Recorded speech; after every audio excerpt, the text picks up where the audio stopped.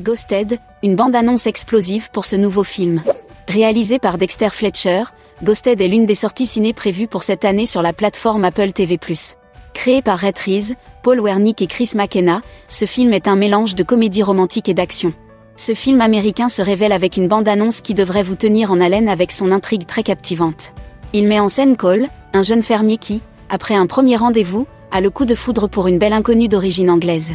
Alors que tout se passe à merveille entre les deux personnages, Sadie décide de couper tout contact avec le fermier.